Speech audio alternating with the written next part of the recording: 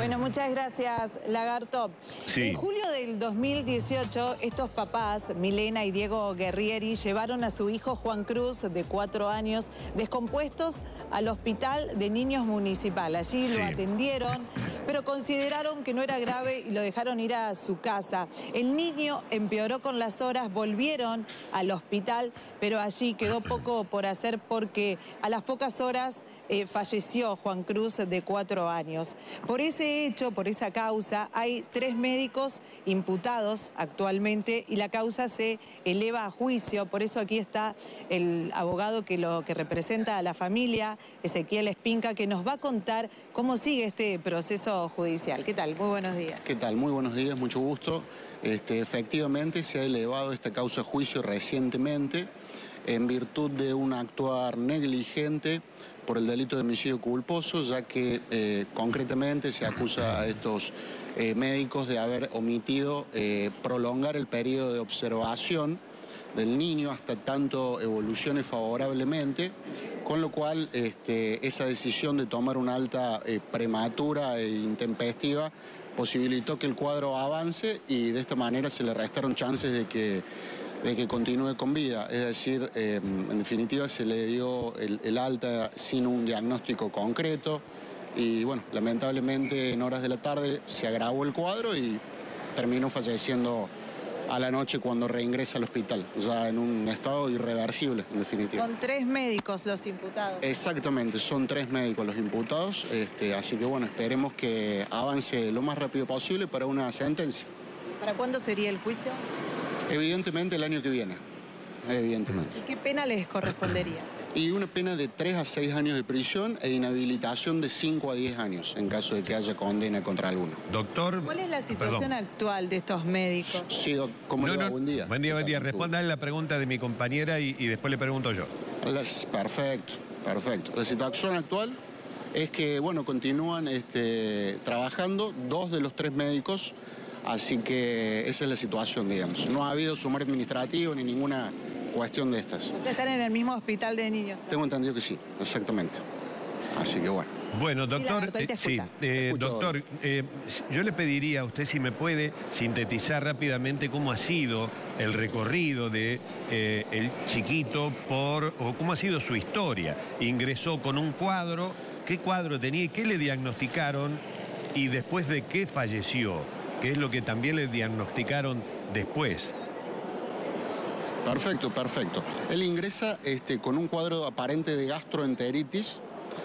Este, es decir, el día anterior había tenido diarrea, vómitos y el día que ingresa, el 17 de julio, presentaba este, un edema en los ojos y estaba eh, débil, en definitiva. Ajá. Claros indicios de que debía continuar en, en- en observación al menos. Sí. Este, finalmente el diagnóstico presunto que hubo era un síndrome nefrótico, que es un- una falla renal, Renal, claro. pero que no pudo ser confirmado a ciencia cierta, por eso digo un diagnóstico presunto, no fue certero nunca.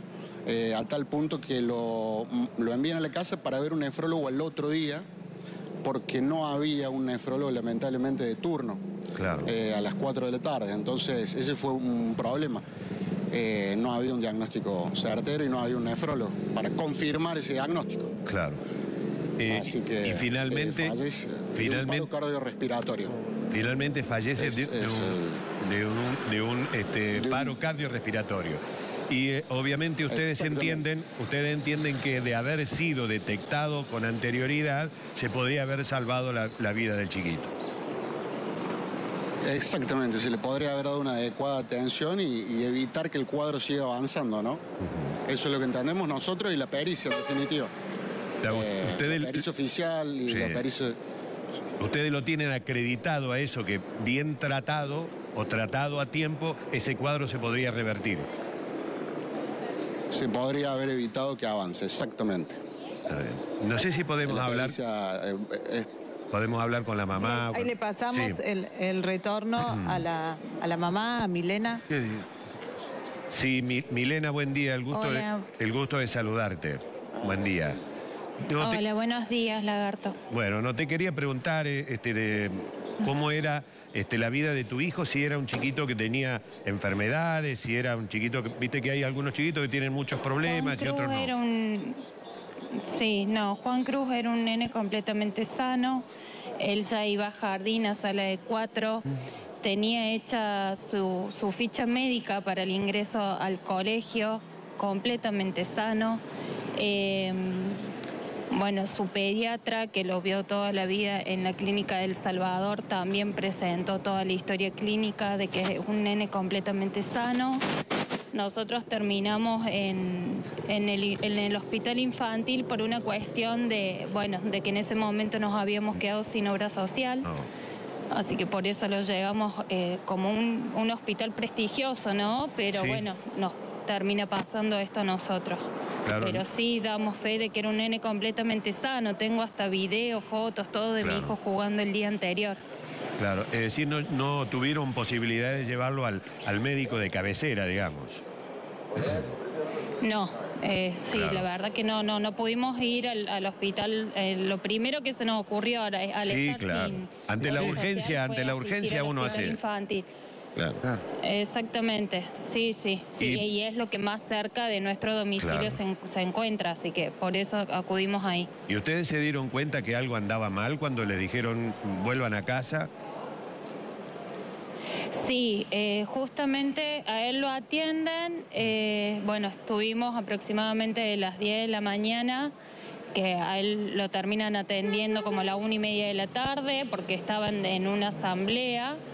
Eh, bueno, lo atienden en el hospital, le hacen varios estudios y me lo quieren mandar a mi casa. Que yo hablé con la, con la doctora y la doctora es una médica residente quien lo Ajá. estaba atendiendo. Y le dije, no, yo no me lo voy a llevar a mi casa. Ponele un suero, levántalo porque está súper débil. Y ella decidió dejarlo, ¿sí? Seguir dejándolo en observación. Me hicieron firmar una orden de internación y a mi hijo los siguieron dejando ahí en observación, pero nunca se lo internó. Siete de la tarde y hubo un, cambio de guardia y me lo vinieron y me lo mandaron a mi casa porque decían de que no, de que no era necesario dejarlo internado y de que no había camas disponibles. Esto fue en julio del 2018. Y eh, me decís que había bueno, una que había una había una asamblea en ese momento ahí. Había una asamblea en ese momento, sí, había asamblea, había 17 eh, niños antes que mi hijo esperando para ser atendidos y a él lo atienden porque mi marido ingresó de urgencia por la debilidad que tenía Juan Cruz, e ingresó y se metió para que lo atendieran porque ya veíamos de que estaba muy, muy débil. ¿Y en ningún momento participó Milena algún médico de mayor experiencia, más allá de, de la residente, algún médico con una casuística No. más importante para ver a tu hijo?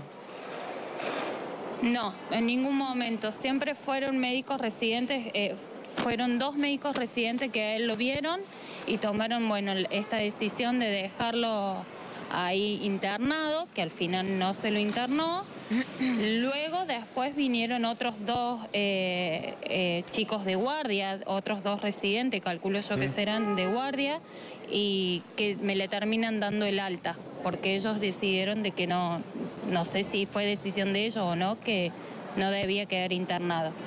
Sí, pero el tema Sí lo ven al último, cuando, perdón, ¿no? Cuando yo lo llevo de urgencia nuevamente a la noche, porque mi hijo estaba muy, muy débil en mi casa y mi mamá se da cuenta de que estaba ya eh, con hipotermia, calculo, porque estaba muy congelado, lo vuelvo a llevar nuevamente. eh, que lo ingresan de urgencia, ahí sí veo eh, y está presente que lo atiende la jefa, una de las jefas de guardia, que es la que está imputada, Sonia Brunetti. A Bueno, Juan Cruz, eh, más eh, con, ot- otros seis médicos más. Sí, sí. Eh, eh, esto me decís que fue en el 2018. Sí. 2018. 2018, julio del 2018. Y recién ahora se va a iniciar el juicio. Sí, cuatro años recién ahora sale la elevación a juicio. Ele- elevación al juicio. Todo. Bueno, eh, Milena, muchas gracias. La verdad que es, es doloroso recordar esto, pero está bueno Gracias a. vis- visibilizarlo, que estas cosas ocurren en cuadros este, en situaciones, en contextos que tanto hemos criticado, ¿no? Tanto hemos criticado. Obviamente yo entiendo que puede haber un error en los médicos, obviamente todos eh, cometemos errores. Ahora, eh, cuatro médicos se equivocaron. Sí. Dijo la- una doctora jefa de guardia y seis más. médicos dijo. son los imputados. ¿Cuántos son? ¿Cuántos? Son tres médicos los tres médicos los imputados. Sí, está eh, Cavalotti, que es el ¿cómo es? el jefe de internación. eh, Brunetti, que es la jefa de guardia que estaba en ese momento, y la residente Juárez, que es quien lo vio y toma la decisión de dejarlo internado. Ellos son los tres imputados. Bueno, muchísimas gracias, eh. Milena, muy amable. No sé si el Gracias doctor... a ustedes. No, si el doctor Muchas quiere gracias. agregar algo. La carátula no, solamente la carátula, ¿cuál es mal- mala praxis, eh, doctor o, o Milena? ¿Cuál es la carátula contra los facultativos? ¿Cuál es la, la carátula, doctor? La carátula es homicidio culposo. Esa es la carátula, concretamente. Homicidio. Así que bueno, esperemos que... Exactamente. Bueno, le agradezco, doctor, la gentileza, es muy amable. Muchas gracias. Bueno, Igualmente, buen hasta día. luego, hasta luego. Bueno, una situación complicada. Muy duro, pero aparte cuatro años cargar con el dolor. O sea, no, no. un Es, todo muy dramático, ¿no? Muy todo muy dramático. Eh, hay un, un cóctel ahí explosivo de hechos que han, que han ocurrido, ¿no? Yo digo, lo- los médicos se pueden equivocar. Son seres humanos, se pueden equivocar. Ahora, tres médicos mínimamente tiene que haber en ese lugar, que hay una casuística gigantesca y donde hay muy buenos médicos. Este, tres médicos que se equivoquen. Y a esto le sumamos una asamblea. Por eso a veces le decimos a los muchachos que las asambleas y todas estas cosas privan a la gente de hacer uso de servicios que son vitales. 16 chicos estaban esperando, más este. Estaban esperando ser atendidos. Y adentro había una asamblea. El padre tuvo que entrar casi como de prepo a decir atiéndanme a mi hijo que no da más. Y después se lo atienden mal. Es un cuadro muy complicado. Vamos a ver cómo evoluciona el juicio y todo lo demás. Pero a priori es un cuadro muy complicado. Que suele ocurrir, este, que se equivoquen los médicos, suele ocurrir. Obviamente que suele ocurrir. Ahora, cuando además del error humano comprensible se le suman todos estos condimentos, Un poco de desidia. es exactamente, se hace bastante incomprensible. Bastante incomprensible. Bueno,